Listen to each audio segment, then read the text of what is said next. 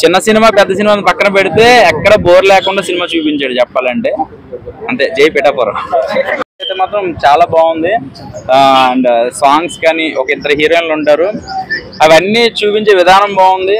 So ఓవరాల్గా కృష్ణమ్మ అనే title అక్కడ జరిగే అక్కడ ఉన్న ప్రతి ఒక్క అమ్మ నాన్న లేని ఒక అనాథలు ఉంటారు చూడండి వాళ్ళకి కనెక్ట్ అయిపోతుంది నిజంగా. సో ఫ్రెండ్షిప్ కోసం బాగా చూపించారు.